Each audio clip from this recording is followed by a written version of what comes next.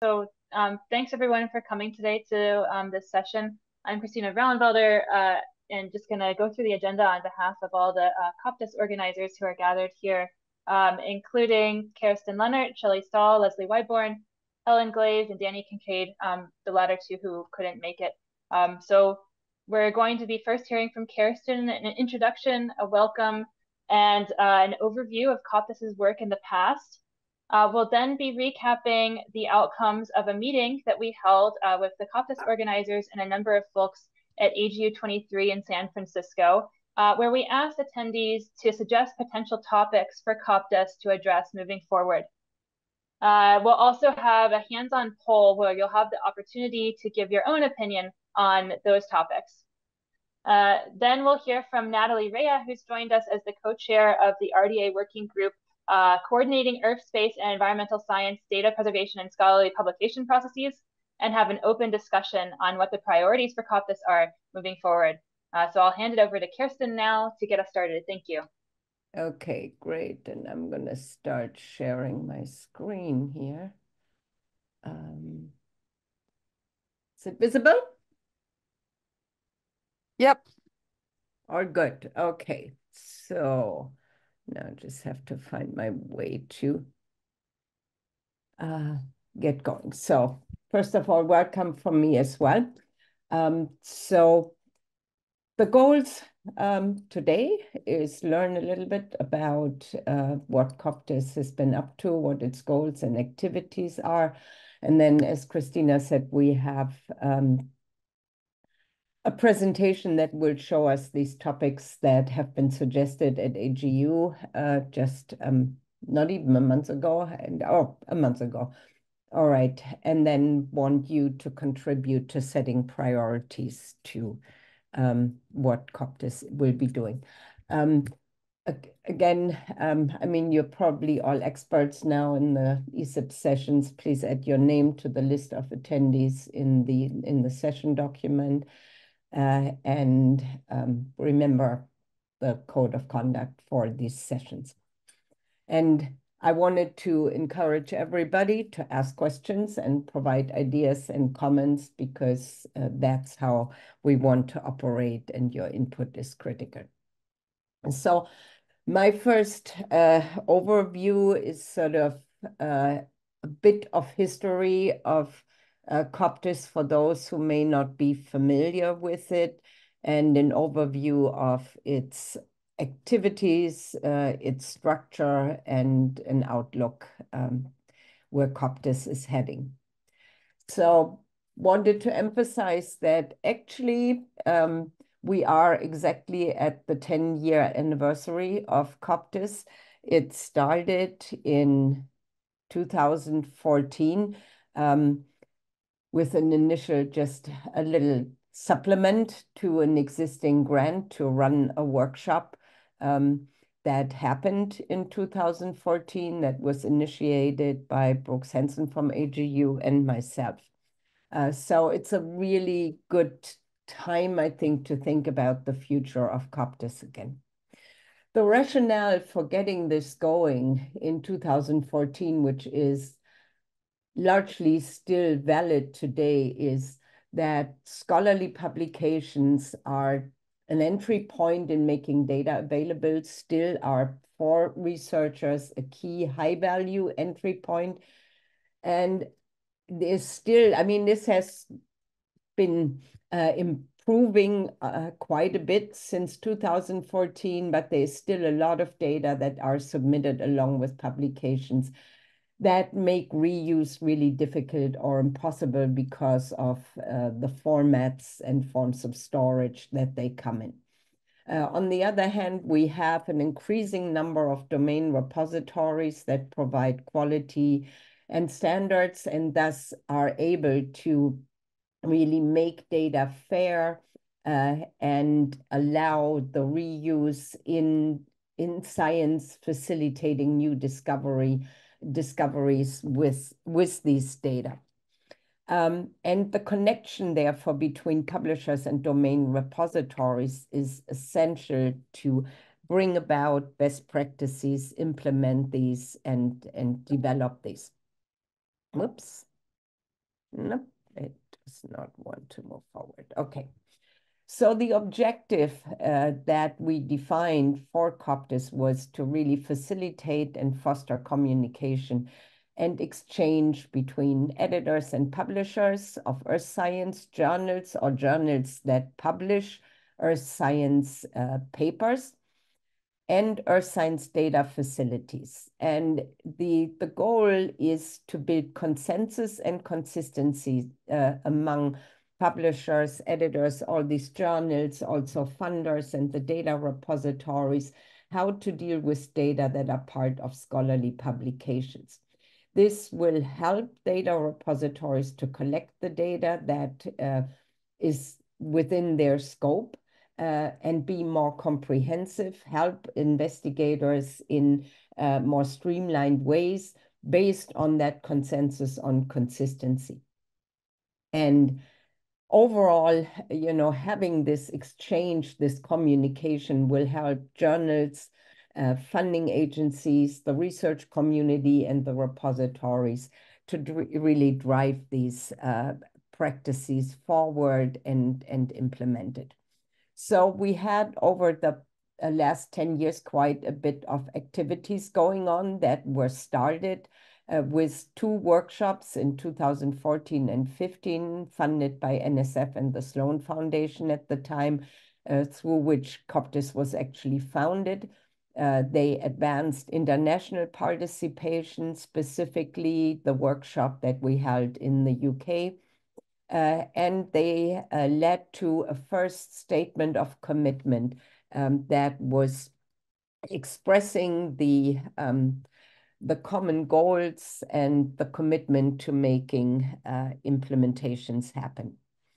Um, we have over these 10 years, held quite a number of meetings regularly at major conferences, specifically at the AGU meeting and the EGU General Assemblies, um, that just were really that information exchange, have identified topics and priorities within the community, and grew participation in, in COPDESS. Um, Further, in 2016, COPDESS led to the Enabling Fair Data project that really advanced the implementation of recommended practices and policies. And at the end of that project, um, participants in the effort uh, decided that in order to improve sustainability of the COPDESS efforts, it should move into ESIP, and that has given us ongoing support for our activities since then. Um, okay, that was a duplication of slides, but that's fine. Um, so what has come out as products and results? Uh, we have had two widely endorsed statements that expressed community commitments uh, to uh, improving the practices and um, procedures of that pertain to data and publications. Um, we established a COPDESS website um, that has had or has gathered a lot of information, but you know, and I will come to the limitations of COPDESS as well hasn't been updated for quite a bit. It initially uh, also showed a directory of repositories that was specifically built in collaboration with the Center for Open Science, was released in 2015-16, but has been deprecated in the end because of our uh, RE3 data uh, providing a similar service. Uh, journal and author guidelines have been developed and made available on the website based on the enabling fair data recommendations. There have been multiple journal articles and editorials about the efforts that um, and the, the outcomes of COPDESS. Uh, there has been an editor workshop webinar series in 2021 and we will hear a little more later about this RDA working group on coordinating earth space and environmental science data preservation and scholarly publication processes that has also been triggered uh, by COPDESS discussions. The impact really has been that the journals have uh, adjusted their policies. Uh, and these are just two examples. There have been quite a number more.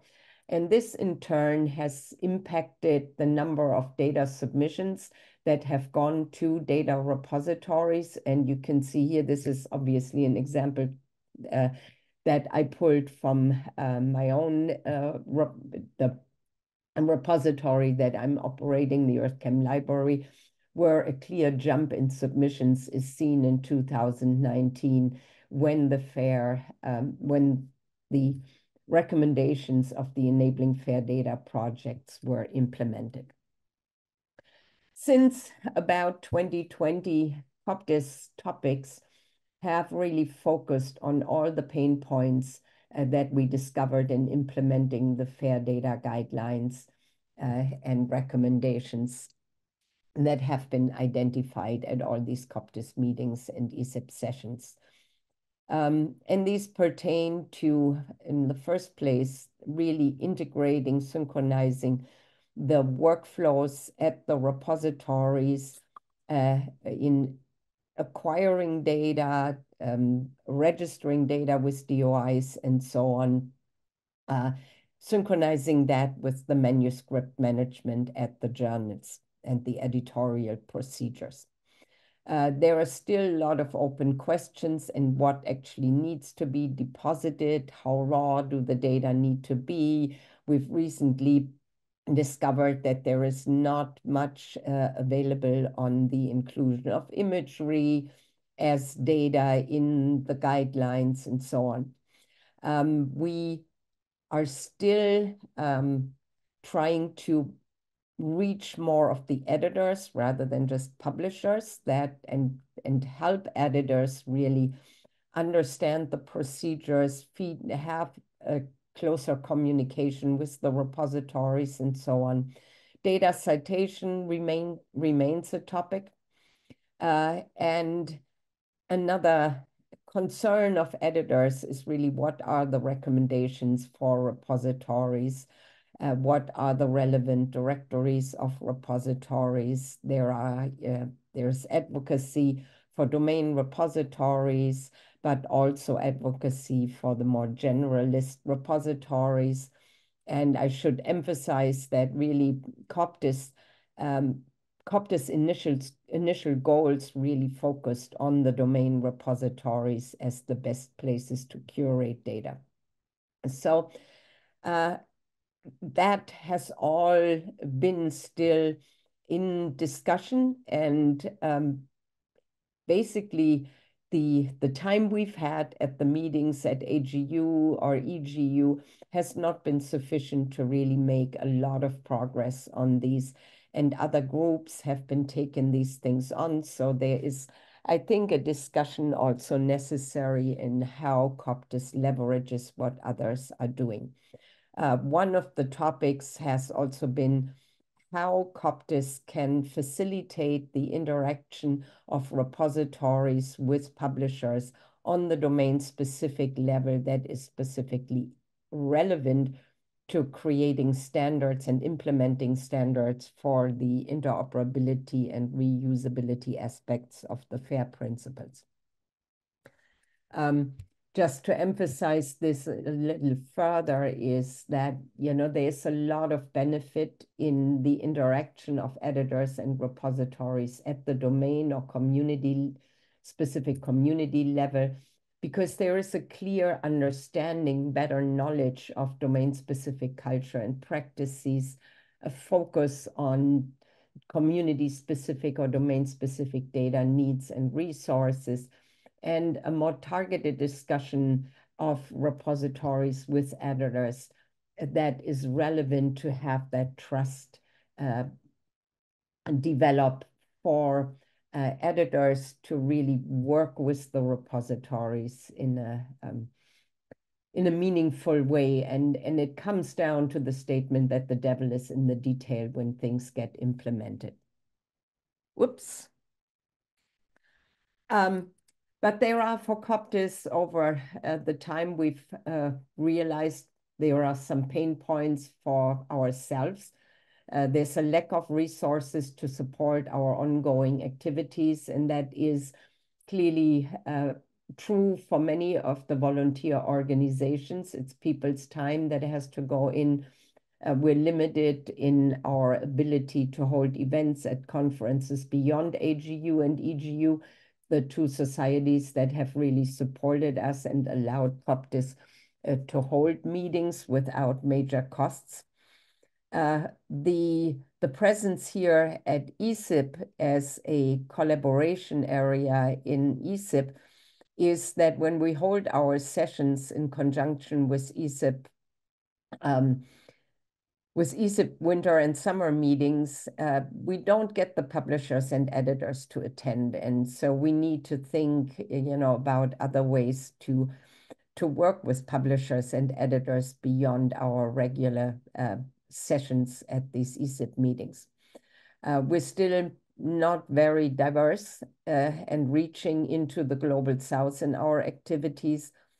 And we don't have a governance. Uh, that was a very um, intentional decision in 2014, and we need to see if we need to change that or if we can operate uh, without a specific charter or governance.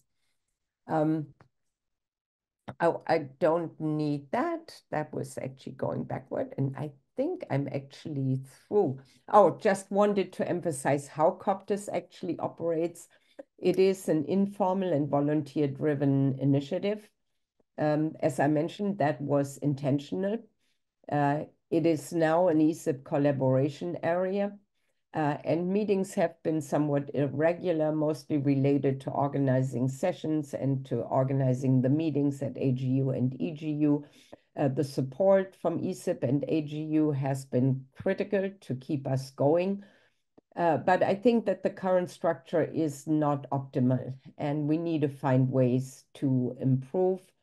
Uh, we need more active participation by the publishers and editors we need to, you know, identify ways to um, find funding and also um, kind of reach out to get more volunteer effort and more distributed activities. Um, so with that, I'm, I'll stop my sharing and we move further in the agenda. Kristina, I'm handing back to you. Thanks, Kerstin. Let me see if I can present correctly this time.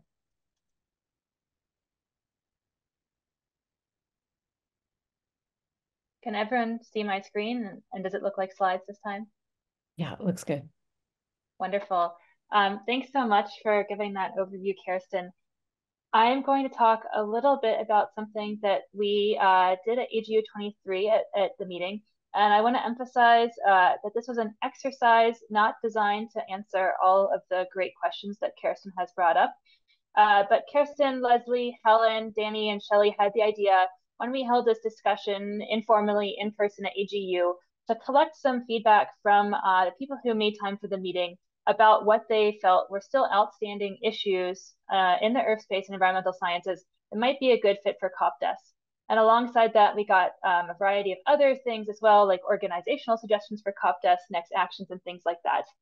Um, so we've made a rough stab at organizing those responses, and I'll now share uh, the results with you. Uh, and after this, uh, Shelly will lead us through an exercise where you two can give feedback, uh, kind of ranking these responses and issues and giving information about what you think might be something that COPDESS should work on next. Uh, so you can see the full attendee responses that I'll summarize in this presentation by following this link. Uh, it's also linked in the session notes. And again, you'll have a chance to give feedback later in the session. You might already have seen a survey that we sent out to the COPDESS listserv as well.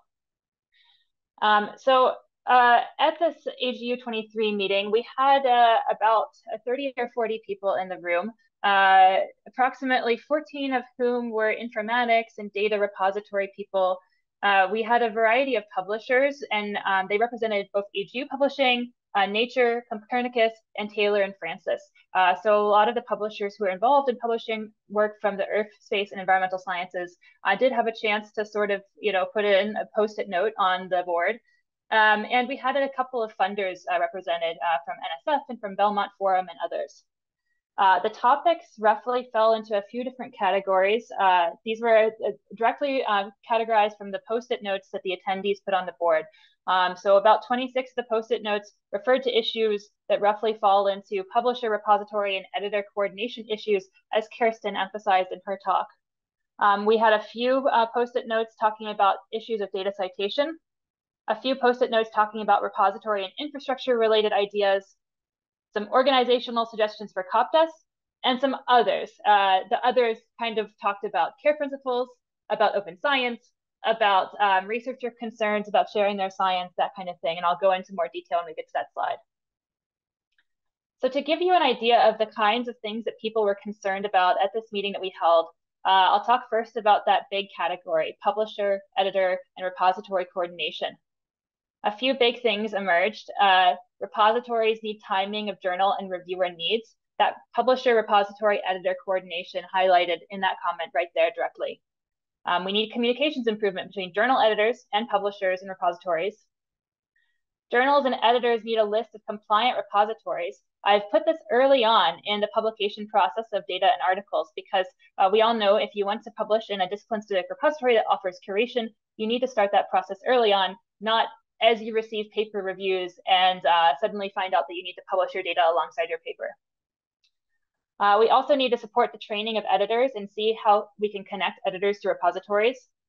Uh, to educate authors on DOIs for data, embedding DOIs in paper, so again, kind of overlapping with data citation issues, and on the timing and workflow of how they get their data published, as well as how they get their article published with that data alongside.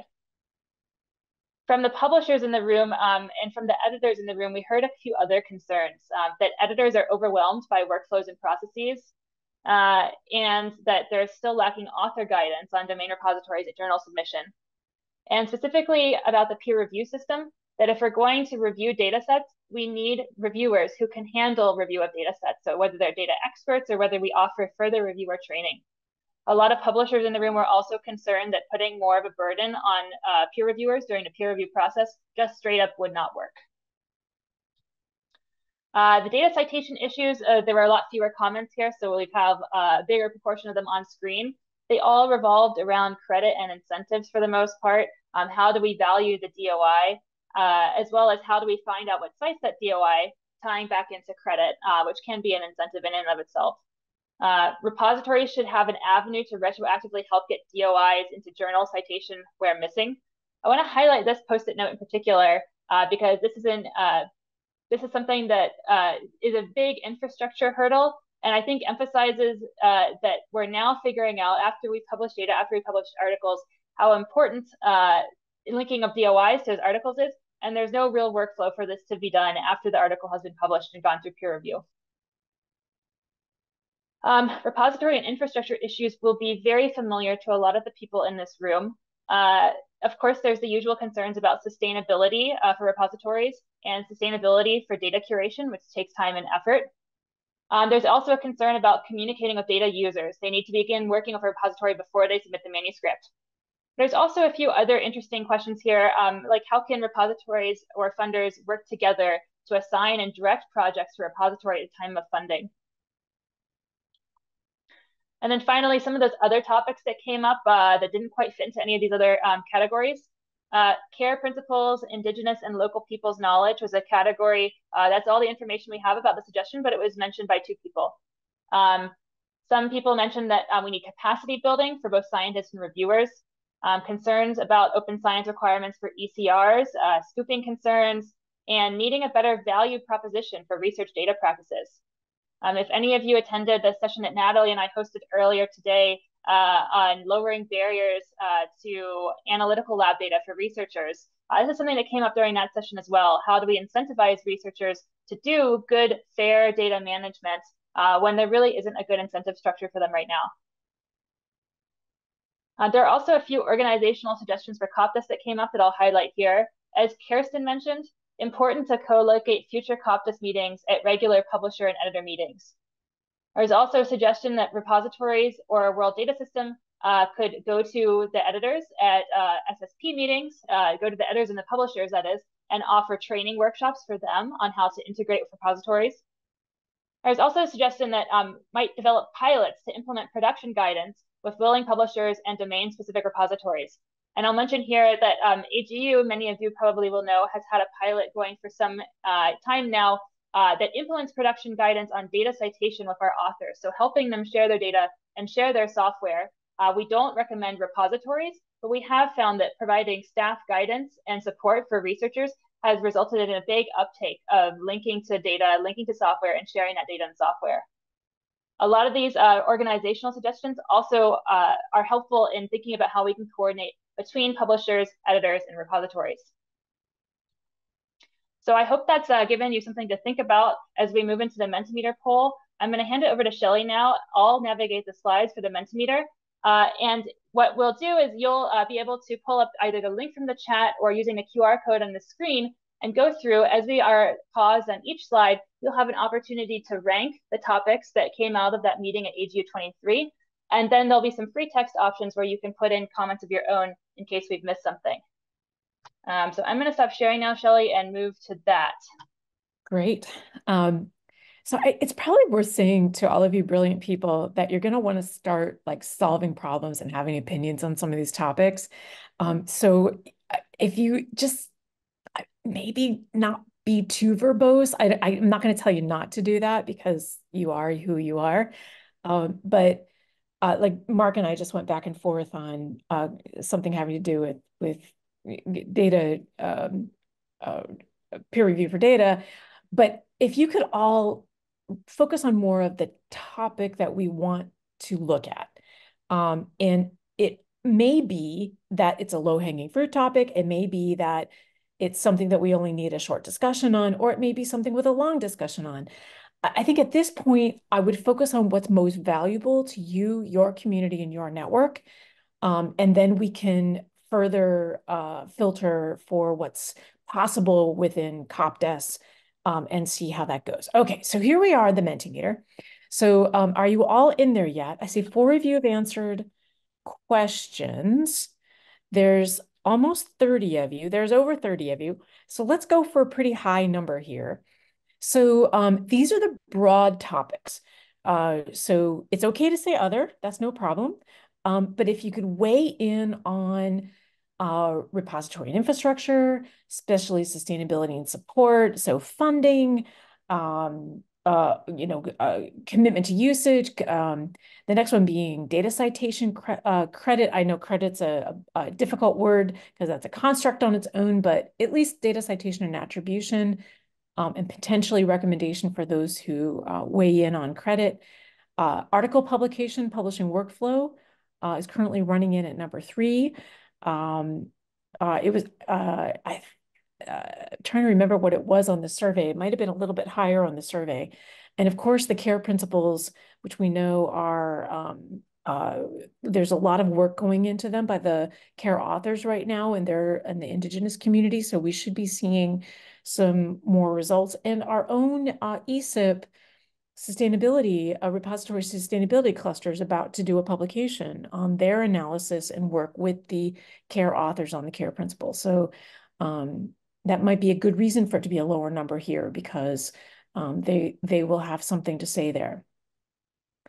All right, we've got 20 folks. Could a few more people perhaps weigh in? Um, maybe get up to 25 before we move on. 22. Data citation overcame repository and infrastructure sustainability. That's kind of fun. Um, 23, there we go. Nothing moved. Okay, 24, still about the same. Okay, excellent.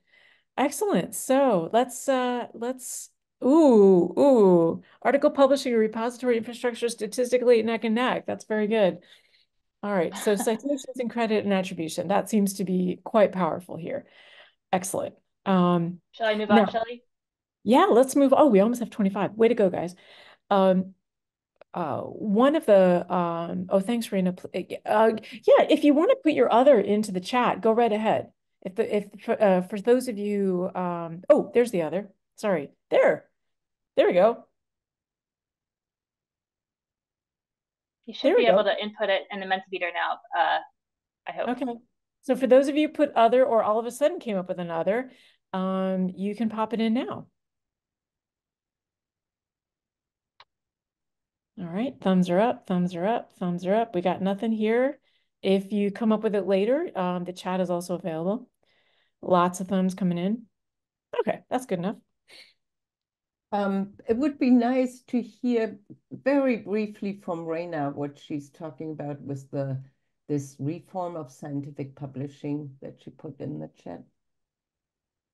Okay, yeah, um, it's just, uh, well, the International Science Council has this, um, two reports out in the last year regarding, um, scientific publishing, and they have a, a number of different points, but it does include, um, notions of data in relationship to the journals um, as well as other things like the open access uh, of journals and things like that. But certainly there's a, a data component uh, that they talk about and um, that needs to be uh, acted upon. So there's a survey out right now. Um, basically, if you read the two reports, then you can give feedback on the two reports by March 1st. Um, and then, you know, I imagine they'll lead to some other uh, output from them that shows what the community is saying. But um, I think that this this group here might have a really good voice for that topic. Oh, that could be another, you know, weighing in on things like that. Yep, that could be something that could come as a COPDESS thing or individually or from your own organizations. Thank you, Raina. Thanks. Yeah. All right, we have five answers here. So if you if even if you did not rank article publication workflow as your highest priority, um, with this topic in mind, if you could then rank the subtopics. So here we have um, coordinating publisher workflow between repositories and publishers. This is, um, uh, uh, we're, going to be getting uh, an update from Natalie on this work after we have this Mentimeter output. Natalie's working with Danie Kinkade um, to get this working group stood up in RDA. Um, uh, and then secondly here, at the moment, we've got author guidelines in education, editor guidelines in education. Yes, they are different, right? Uh, data repository sele selection guidance. Um, this has been a challenge. Um, and, you know, no matter where it ranks, it's still going to be something we need to address um, or hope somebody addresses. Peer review issues just swapped with DOIs for data. It um, keeps, it keeps swapping. yeah, yeah. Uh, it does. And we we could use maybe like 10 or more folks to weigh in. Right now there's 17 of you. Um, so if 10 or more folks, um, if you're if uh if you need to get to this Mentimeter, if you've just come in, I see maybe we got one new person. Um, the number's there for menti.com, or you can use the QR code. Um, Selection guidance. So author guidance is leading, which is exciting. And the an opportunity here is uh, we do have guidance that many publishers use that AGU put together during the, um, primarily this was during the end of uh, Enabling Fair Data project with COPDESS. Um, and so we've actually uh, talked about this being an active action this year to update AG's author guidelines. So maybe this could be something COPDESS could help with um, on number one. Uh, a lot of our society friends. Right. Oh, and 23, and if maybe a couple more, or maybe that's taking too long. Okay, 24 and we're going. Come on, 24. All right, let's go ahead to the next one. So author guidelines is winning. Oh, a couple questions. Oh, shoot. Sorry, Megan. Um, let me go look at the uh, chat. Sorry, I wasn't watching that. Um. Oh, okay. Raina's point. Um,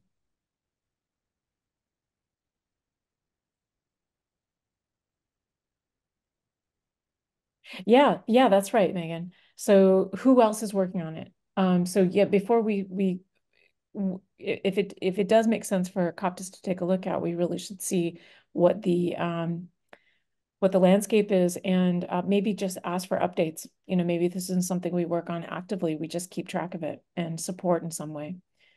Um, yeah. Yep, that's good. That's good. I like it. Thanks, Megan. All right, we're on to um, the the winner on the first slide, the data citation credit and attribution. So everybody jump in here. Um, by far, this is the one you really love the most. Um, so issues, citation issues with publishers, boy, do I have opinions on that. Um, solutions for finding citations to give DOI, to give it to a given DOI. Um, how to make researchers and repositories value data DOIs. Um, that's interesting um, and then tracking progress on data citation efforts. Um, and we will hear, um, uh, Christine, are you sharing, are you sharing the data citation work? I, I can't remember I, a little bit on this session? Um, or... I had a poster to talk a little bit about our um, data citation work at AGU, and uh, I think that might be of interest to people in this area, but I'm not talking about it during this session now. Yeah. So definitely catch uh, Kristina's po uh, poster and um, if it's if it's the most important thing for you, then please do just get in touch with her. She'll be happy to walk you through it. It's fascinating and there's a lot more work to do. Um, all right, 23. Already at 23. Wow, excellent. Thanks, everybody. Publishers won. Publishers won. All right, uh, maybe somebody could put the nature paper in to show everybody what we know so far. Um, okay, uh, then we're on to repository and infrastructure sustainability and support. That should be near and dear to all of your hearts. Um, I have a funny feeling that uh, things having to do with Monday money are gonna are gonna do well here. Um, but no one's touching this. Come on, hop in, folks. They're all important problems. It's hard to prioritize.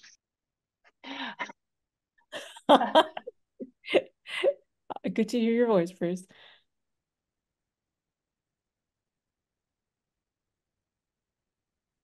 Oh, excellent. Here we go. Some somebody hit enter. Excellent. Oh, you were thinking about it. That's what you were doing. You were reading and, and looking at it carefully. Now I see. This is near and dear to your heart. Sustainable funding support for data curation incentivizing use of repositories offering curation. By the way, I think that is like so important, but um, funder repository coordination for repository selection, absolutely. Uh, coordination of repository selection guidance, yes, yes, yes. Uh, solutions for verification of trusted repositories, yes. And we there's a lot of work in CoreTrust Seal, the World Data System. That's a lot going on there. Uh, data user outreach and education.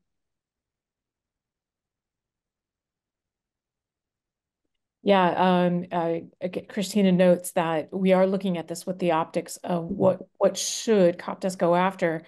Um, but we can all when we when we interrogate these answers, we can double check and make sure it's a good fit, um, and that there isn't other work or um, that we should just uh, identify um, and support others. Okay, so we're at 24. That's pretty good. Sustainable funding, winner, winner, chicken dinner. All right. Uh, other issues for COPDESS. What have we missed? I think this is free text. Oh, understanding the subcategories. I'll, I'll tell you what, they're, they're as defined as well as they were on the post-it notes on the wall at AG23. So there's room for clarification. There's room for fine tuning. There's room, we can do lumping and splitting. Um, I had to explain that today in the meeting I'm in at Leiden, what lumping and splitting is. Um, and uh, yeah, it, it doesn't have to be super hard fast. If you thought something was bent one way, um, we can always bend it that way.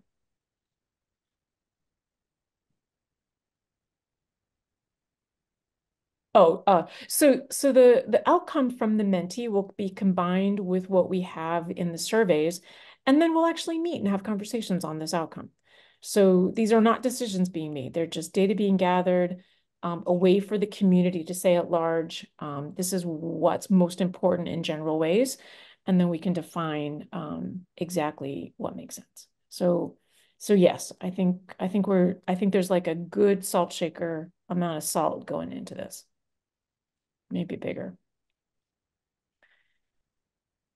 Yeah, how do we get moving faster? Thank you for that. Um, how do we how do we make how support this group and and have it be um, um, uh, effective and efficient.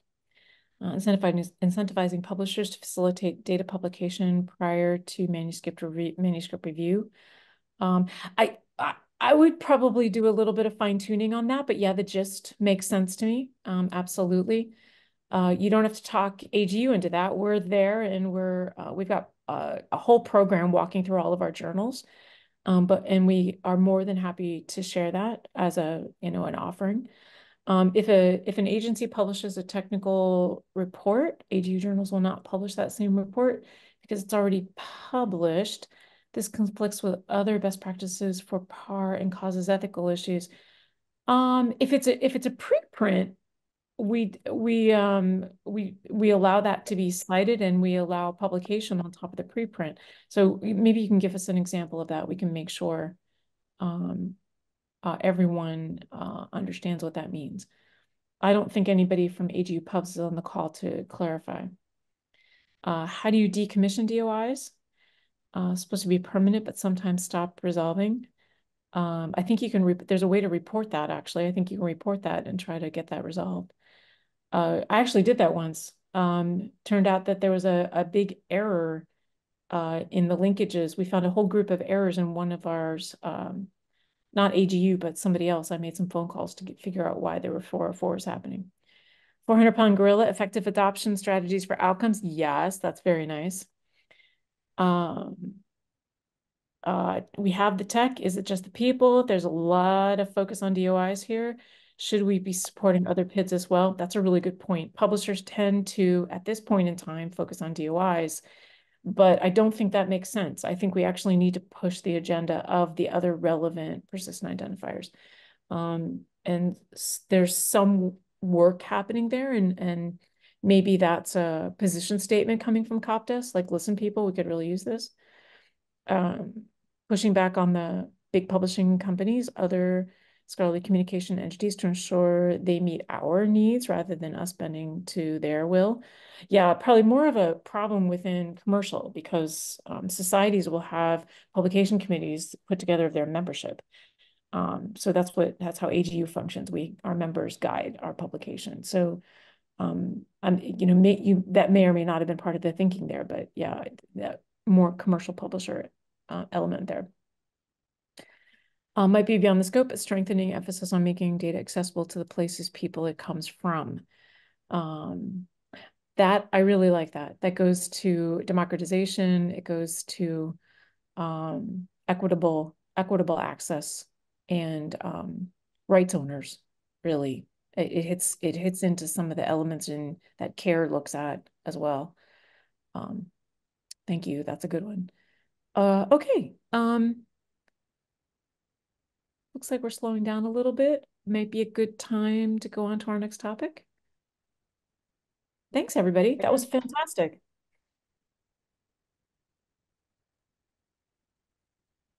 So thanks, Shelley. Um, and I just want to let everyone know that uh, if you're on the COPDESS um, email serve listserv, uh, we've also been sharing the survey as well as the full text of the attendee responses there, which you're welcome to comment on welcome to send us a message or leave notes in the session notes. Um, this is really just a, a, way for us to source some of the topics that are uh, at the top of people's minds and that might be suited for COPDESS. No decision making, like Shelley said. Uh, so uh, I think next up we're going to briefly hear uh, from Natalie Raia about the um, work that she and Danie Kinkade are doing on one of the topics that surfaced uh, from these attendee responses. Um, Natalie, I'm going to share my uh, screen again so you can go through your slides, and then we'll have open discussion.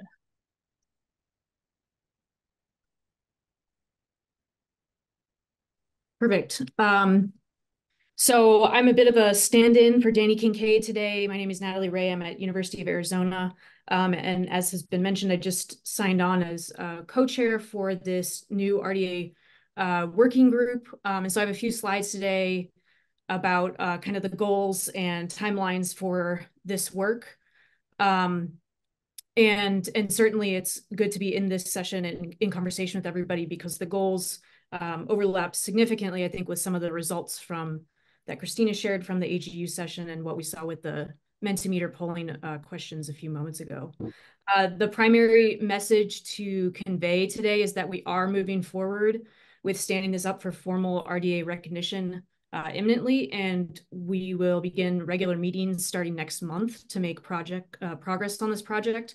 And so we'll have some information shortly uh, on a slide and some links in the chat about ways to get engaged and stay in the loop. Uh, next slide. Uh, so by way of introduction, I think this will be, you know, uh, context that pe some people have, but maybe new for some. Uh, this working group aims to reduce uh, friction currently between uh, repository and publisher workflows as they pertain to and rely upon uh, the data publication process.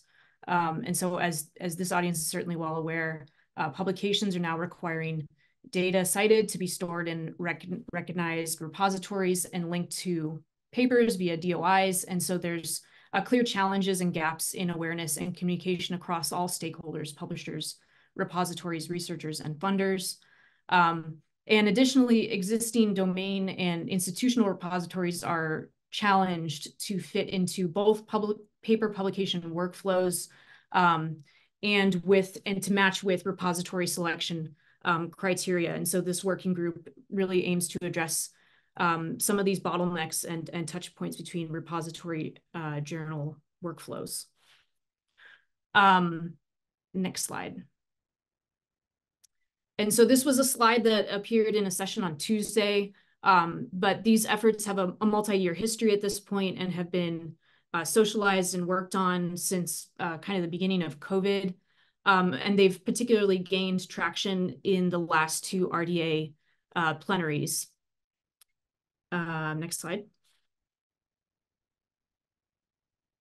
And so um, one meeting was held in February of 2023, almost a year ago, with about four participants, um, and a case statement was reviewed and suggestions were incorporated um, from those prior efforts from the last slide. Um, and uh, the case statement includes some specific objectives related to both repository and publisher uh, recommendations. And so now we're in a stage uh, where we're ready to launch the working group. Uh, next slide. And so this is just showing some of the specific objectives that are in the case statement. Uh, we'll circulate a link to that case statement, and you're certainly welcome to um, review it and add your name. We're we're actively, you know, still looking for people to be involved with this, either at the co-chair level or um, or just to stay involved with with the group's uh, efforts. And next slide. And so these are the two ways that you can uh, stay involved and or stay in the loop. Uh, there is a link to the RDA working group page uh, where you can hit join group uh, to stay in the loop. And, and like I just mentioned, the uh, draft Google Doc case statement is also linked there. And that is all I have. Thank you.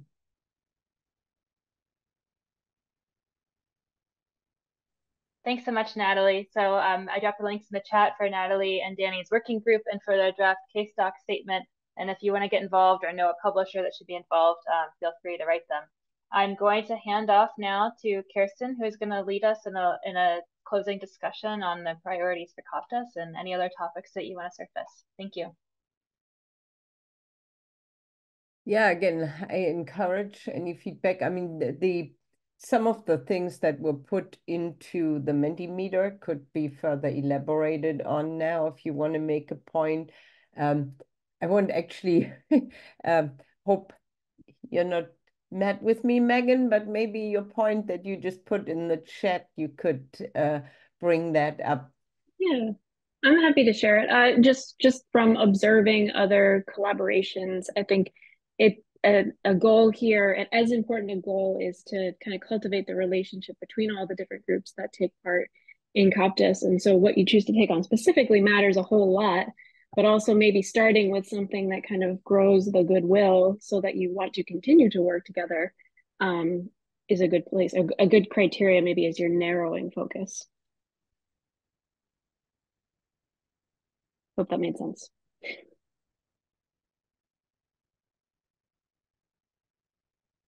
Sometimes that's an argument for not starting with the most difficult thing, but starting with something that will give you a feeling of success and then give you the energy to move into the next the next challenge. Yeah, I mean, this is, you know, many of these these topics have actually been brought up over and over again at the COPDESS meetings. And I think the the main challenge remains to actually get something done, you know, and that is the point of this RDA working group, um, that you focus in on a specific challenge or specific problem and try to solve that. Uh, but that happens outside COPDESS, right? So maybe in the first place, we are achieving a, a low-hanging fruit objective to just keep the dialogue going, right? uh, and, you know, the the feedback that we really need now is, you know, is is that sufficient? And we have enough other other activities going on that we can outsource, so to say, the, the problems, uh, getting that going, or or does it come, does it have to be under the, you know, umbrella of, of COPDESS?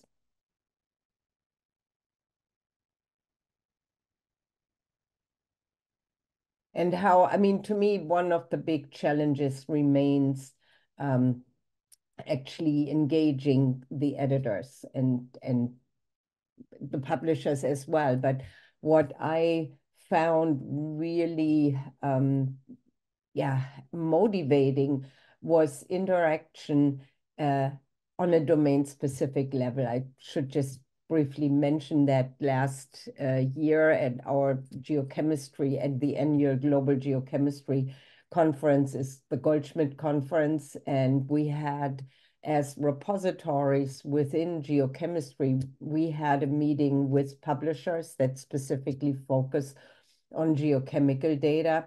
Uh, and the discussion, yeah, really had more tangible outcomes where editors were really able to tell us this isn't working and I don't understand this and can you give us a list of repositories that work for our field and so on.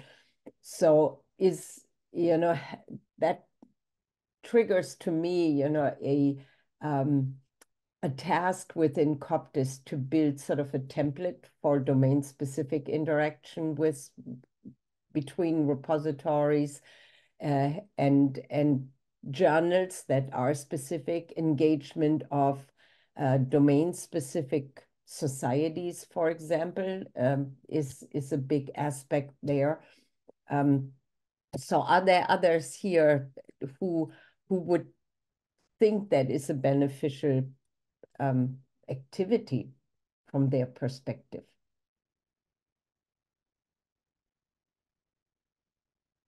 I, I would I would plus a thousand what you just said, Kerstin. Um, it, it might be helpful to know that Kristina and I are working on a pilot with the hydrology community to walk through their challenges. I I will tell you that we're coming at it a little differently. We're meeting with the section leaders. Mm -hmm. and, well, I, I love that. Yeah. You know, you have access to them. So we do, we do, and that is a benefit. Um, but you know, I I would am absolutely open. I, I, I there's no way that Kristina and I have all the information necessary to do this, right? Like we there's we would have to do this in collaboration. Um, and I wonder if it's something that we could um, we could do together with COPDESS. We just, you know, uh, maybe reach out to the COPDESS community, invite anyone connected in with hydrology data, um, even or just wants to lurk around and participate in the interchange um, and help shape what that looks like. We're, we're essentially piloting. Um, the humorous thing is hydrology is our largest section. So why did we do that? Well, partly because of the work that um, CUAHSI has done. Um, EDI has hydrology data. Um, EDI is, is, is a rather, um, um, uh, you know, robust community. Um, there's hydrology data at, um, Bruce, you've got hydrology data, don't you? I'm pretty sure I just read that ORNL has uh ORNL ORNL. We do. Yeah. Hydrology is, in my opinion, one of the areas where the um, DACs are most fragmented. Hydrology data, by depending on how you look at it, is at at least six different DACs. Oh, snap. Oh, Yeah. that's oh, oh, fun times. And I could Oh. probably give a broader definition of hydrology and include even more than that. Yeah. I mean, what we could what we could do is maybe at our um oh, Kerstin, you didn't tell them about our first meeting. We have we have the monthly meeting set up. Oh, yeah. Oh, my goodness. Yeah. That's, yeah. I mean, I, what, what I mentioned was the look back that we haven't had enough regular meetings. And so we're actually starting to have monthly meetings. And um, yeah, what is it? February 7, right? Yep, yep. Megan just put it in. It's on the ESIP calendar. Um, and it's at 5 p.m. And that's to accommodate as many time zones as possible without being too late for Helen Glaves. So Still pretty late for her. Well, it's 11 p.m. where I am, and I, I'm further east than she is. So she has no excuse for not being here. I just, I just, just no, talk to the hand. Um, so yes, it's doable. It's doable for Europe. They can handle it. Um, but yes, we're gonna give it a go. So yeah, we could, we maybe what Christine and I could do is walk you through where we are, what we're thinking, get feedback, see what the connections that we're capable of doing.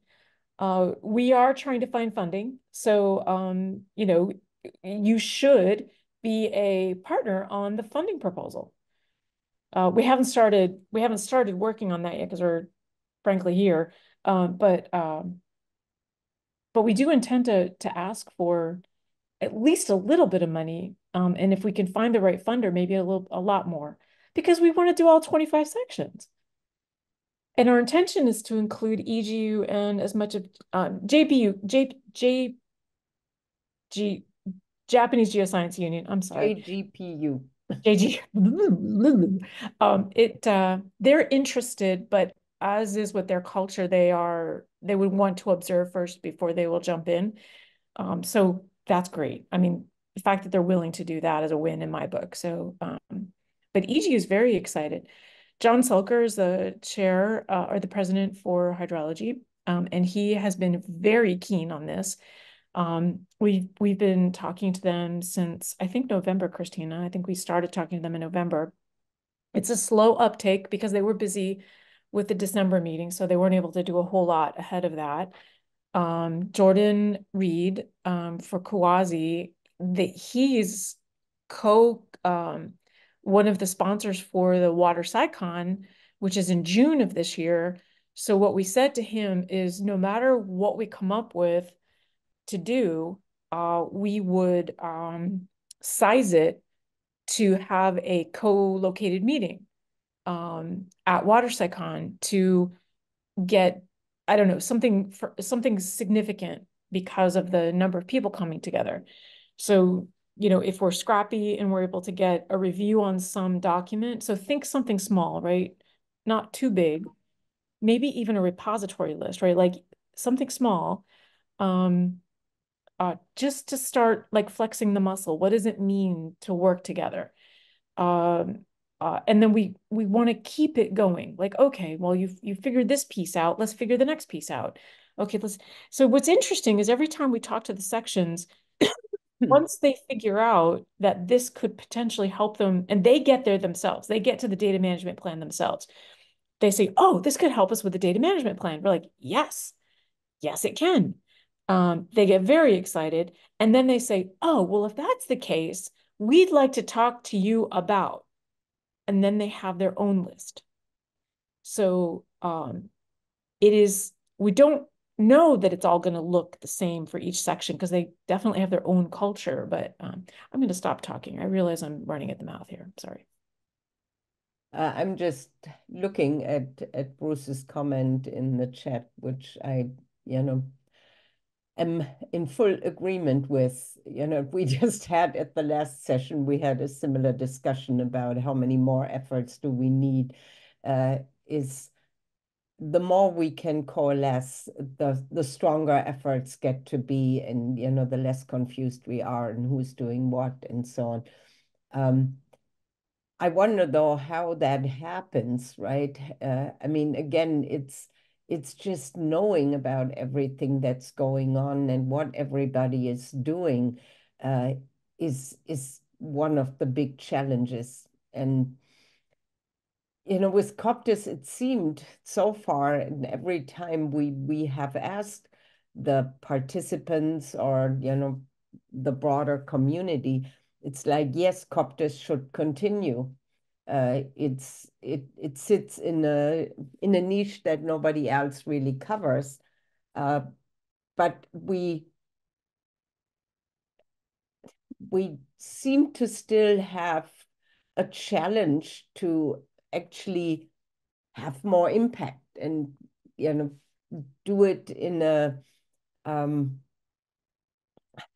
yeah more sustained and and and um effective way you know it's I mean, we can just be happy to meet every year, you know, in December and in April and um, lay out what everybody is is um, trying to solve and maybe have, you know, sort of serendipitous uh, collaborations coming out of a meeting. Um, that alone, I think, is is something nice, but um, I think there is potential for a lot more to happen, and and just the this Mentimeter survey shows how many problems there are and where the big um, which are the the top priorities really. Um, can we or how could we actually find out who else is doing something when we have, let's say, you know, in each one of these categories that we ask, we have the top level priority. And you all send us information. Who else is working on that? Who should be at the table or who can we hand this mm -hmm. over to? I think we're we're moving in that direction, but this is where I think it's also who are we paying attention to? And yeah, I'm going to acknowledge Megan as just one example because I was headed off in a bit of an isolated direction, and Megan was the one that said, "Hey, you know, here's this other thing that's going on. Why don't you, you know, work with that?" And and you know, I think we have people doing it, but we also have to to ask some of those those right questions and Megan, Susan, Shelley. I mean, lots of uh, folks are sitting in intersectional places. Um, so just just a thought.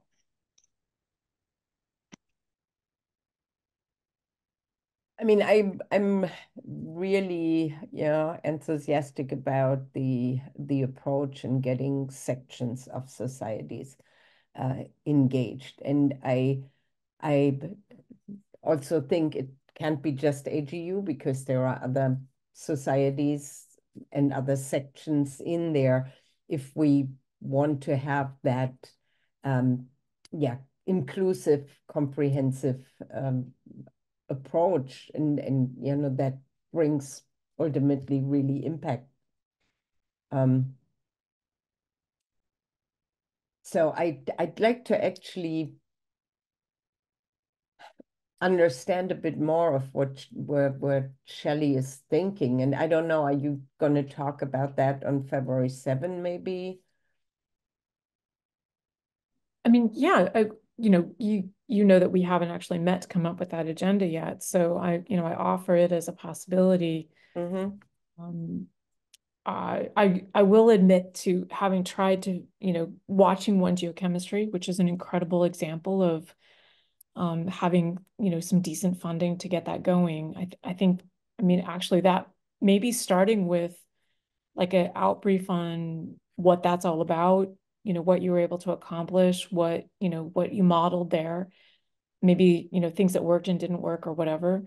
Um, I have uh, I've had very tentative conversations um, uh, what I mean by tentative is, you know, these are, you know, you're, we have council dinners, so I get to meet with all the um, sections pretty regularly during the year. And you can have a informal, you know, sidebar next to the coffee pot and say, hey, if I said to you, da da da da da, would this be interesting to your section? And no fail, every time I've done that, and I've done it maybe seven times. So I'm, I don't want to talk to all 25 at the same time because that would be horrible. You could never service 25 sections at the same time. It would, it would, there, it would be awful. Yeah. Um, you could just, it would look bad. And, um, but I did pick five during one convers one meeting. I, I talked to five and then I talked to a couple more. Um, no fail every time it was yes, yes, and I have these other concerns. Yes, and so so, but it did take a little while for me to explain what we were interested in because you know we have informatics speak and they have researcher speak and we had to kind of navigate and they said oh you mean yeah yeah yeah that's what i mean. You know you just have to remember how they talk about it. Um so once we got to oh you mean it's like oh okay good. And then i learned that hydrology has actually been trying to do this for a while and they didn't quite get there. Um we we do know the paleo folks actually wrote some documentation a little while ago and honestly it just needs to be updated um you know just celebrating what they've already done. Um so i, I don't want to ever walk in there assuming they've done nothing because that's probably not the case. They know where their data is. They know what their favorite repositories are. It, it's just a matter of making sure their entire community does and that there's some you know, understanding of preference.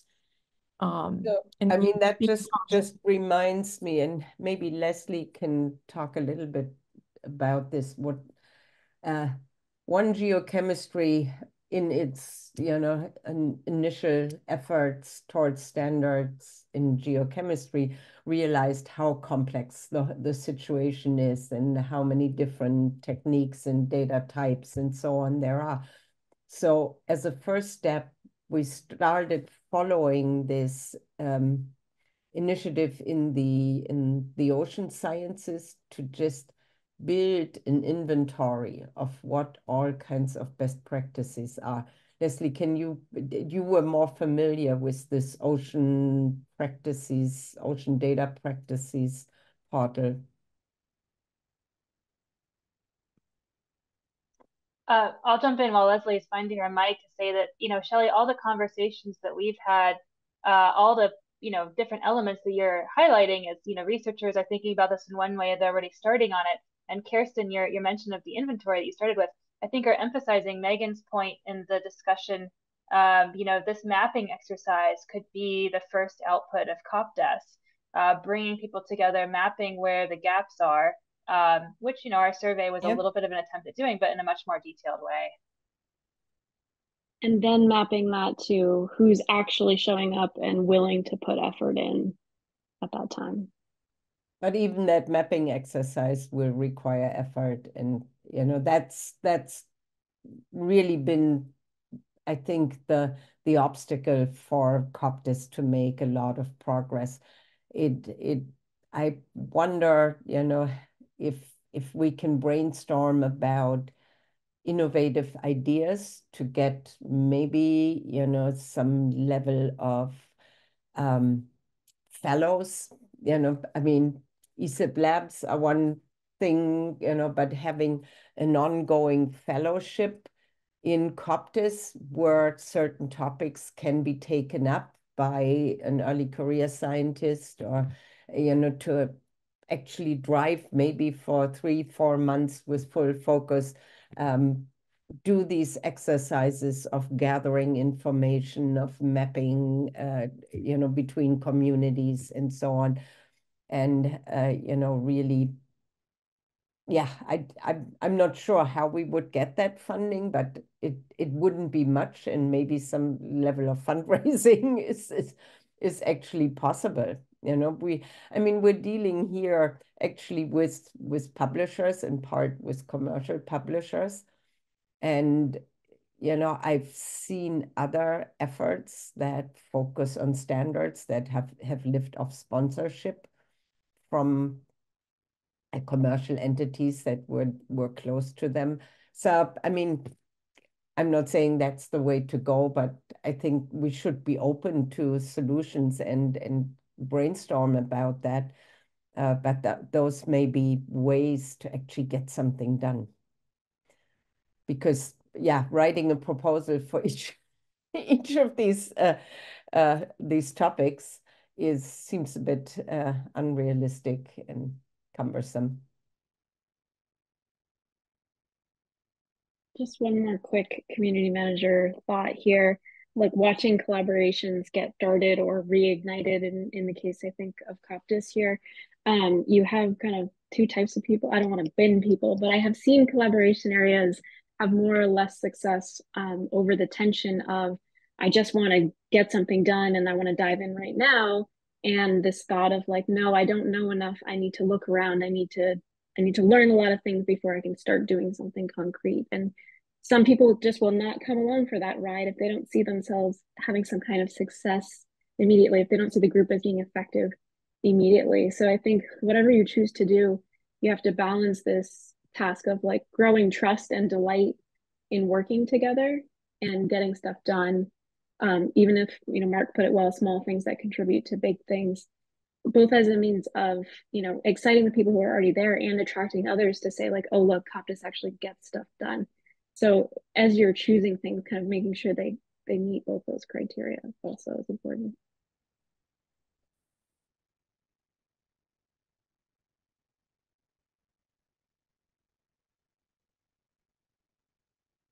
Thanks, Megan. I think that's great advice.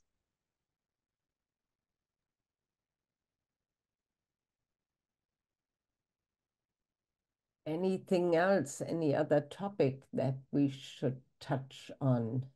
Uh, are there any ideas for a priority on the February 7 meeting?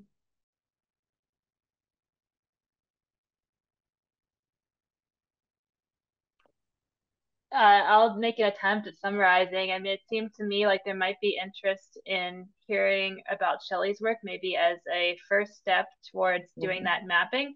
And it does sound like there's, I, I, think your point about funding is a really pertinent one, Kerstin. Uh, so some sort of exercise in going through what's achievable with the resources we have uh, versus what do we need to immediately try to seek money before we can even start on. Um, Raina's adding to what Kristina just said, Raina is reminding me that um, WDS actually has some new initiatives that are going on that it would be nice to get maybe maybe we can have um, some like lightning talks um, to learn more about that. Um, Raina, I'm I'm here with David Castle, and I've been learning about stuff as as you know. So um, uh, I'm really excited about your work. So I I think that sort of thing and, and others also would be kind of a neat opportunity.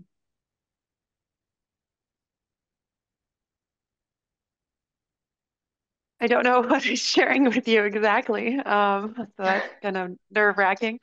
Um, Sorry, it seems to be all good, so don't worry. I mean, um, I, yeah, but but, ha but happy to. Yeah, but I mean, maybe something at that February seventh meeting um, is an option too. Yeah. Oh, and you know, I should really tell you where I am. I don't know that it's worthy of February seventh, but I'm on. Um, I was invited to come to the the road uh the road to fair and equitable. This is the 10 year anniversary for the fair guiding principles and the authors are mostly here and they're coming up with their roadmap for the next 10 years. Um, so it's been an exhausting week because we're all working towards um, presenting. Actually, we're going to do it in a in about 12 hours um, or so. We're going to present to a bunch of policy folks primarily um, European. Um, there are a few US folks here. Um, Canada is represented nicely. Um, and uh, maybe I could give a report out on what those um, uh, bullet points are. I, it does not have to be February 7th, though. This is, it, it can be later or in another venue.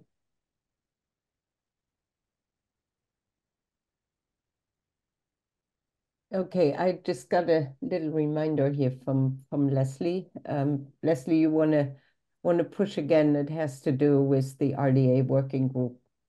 Um, yeah, I'd just like to say it's really sad that Danie is not here because as um, Natalie showed in her slide, it's been going for a few years, and I'd like to also credit ESIP because this kind of started with the um, Council for Data Facilities, and then it came to ESIP, and we've had a good response. We've had a good response to the working group, but um, Danie is very overloaded, and I'm just wondering whether or not uh, what is the interest in helping get that working group going. Um, again, we did take that to um, RDA.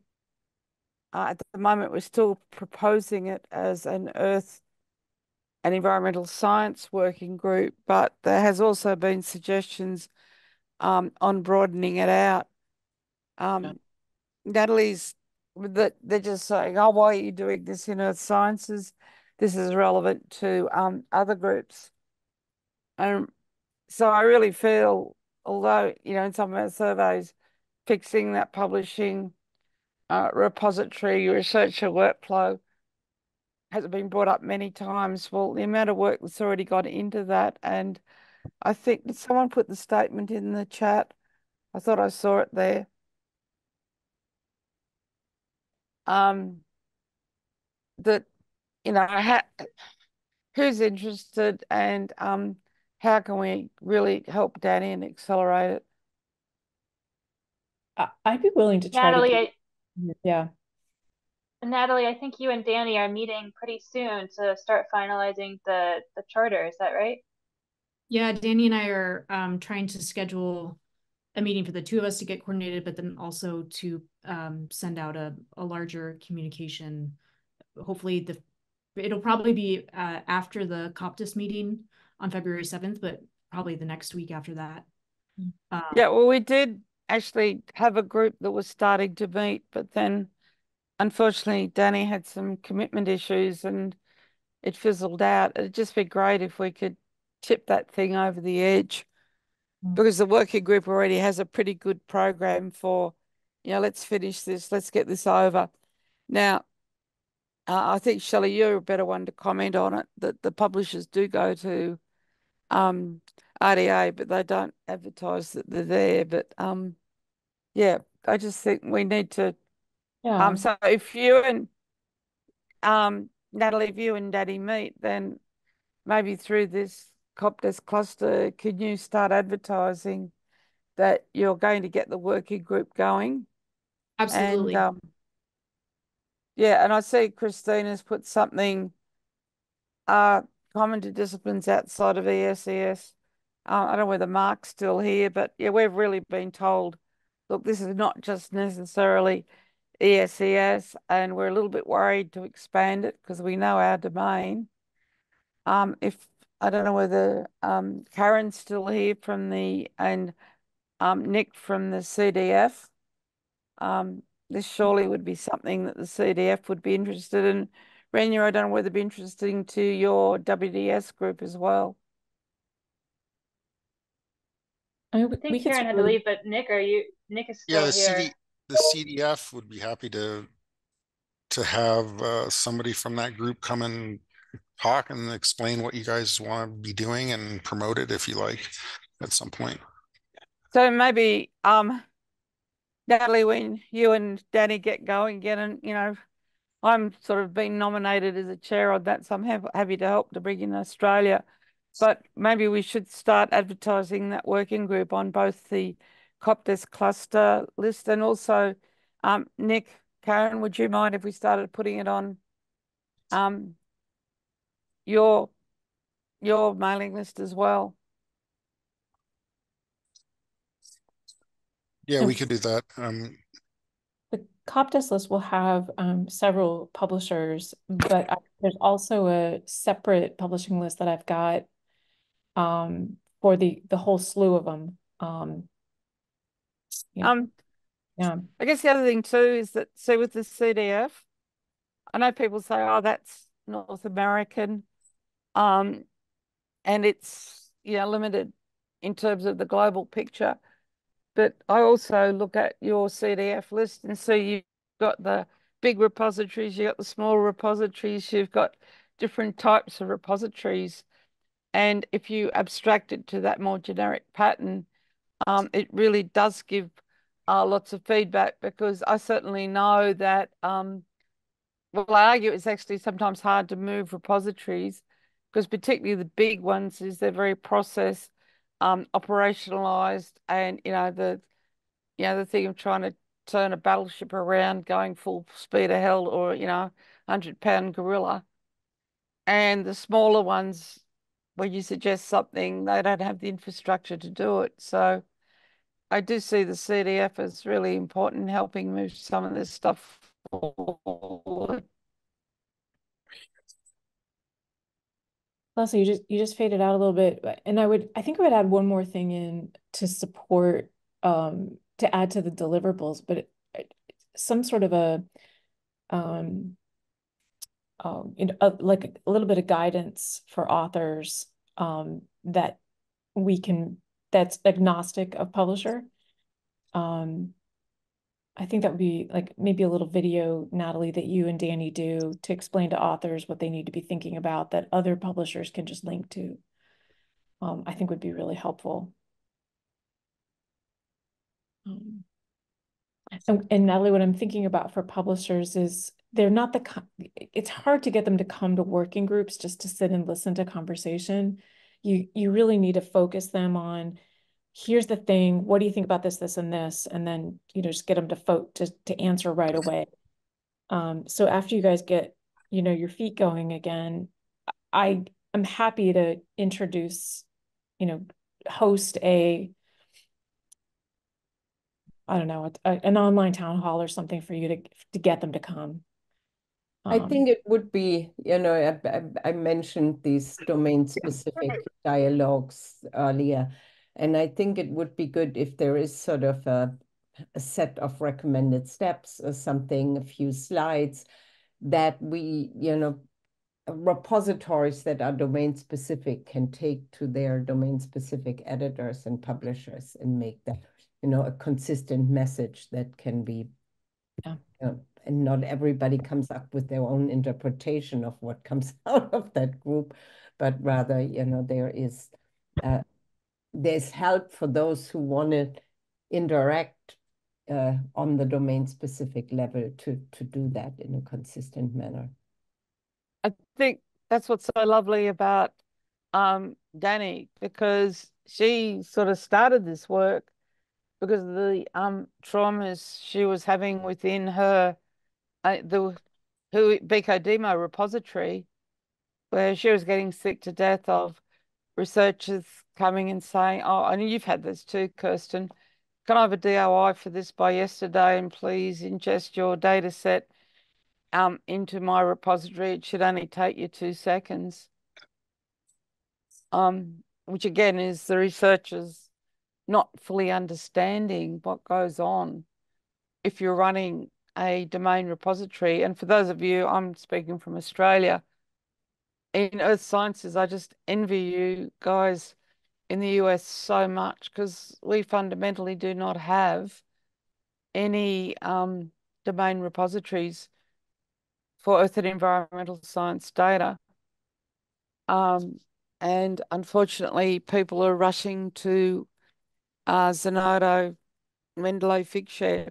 We do have the government repositories, but for various reasons, they do not take research data. I mean, I just want to mention many of these NSF domain repositories are open globally. I don't know if there's restrictions where you have to put it into an Australian one, but um, um have a look and see how many of these NSF repositories have Australian data. Well, I mean, it's they don't have the data, but they're happy to accept it in general. Yeah, no, no, I'm trying to say what yeah. I'm trying to say is um, those Australians that aren't using the generic ones are either hitting the NSF ones or PANGAEA. Yeah. Okay. They're already doing it. Yeah. Perfect. I think we've been seeing departures, and we Yep. only have three minutes left. So uh, thanks everybody for uh, participating, and I encourage you to come to the regular monthly meetings. Um, and the important uh, step to know what will be discussed in the meetings, what the agendas will be, is to sign up to uh, the mailing list uh, of the collaboration area and cluster so that we can get the message out. And yeah, let's make some progress in the many efforts and also on kind of continuing our efforts in, you know, an efficient and effective way. And uh, we'll see where we are at the next ESIP meeting, I guess. We can look back at sort of a half year of experiences with regular meetings and progress. Thank so, you. yeah, enjoy the Mhm. last day Yeah. of um, of ESIP meeting.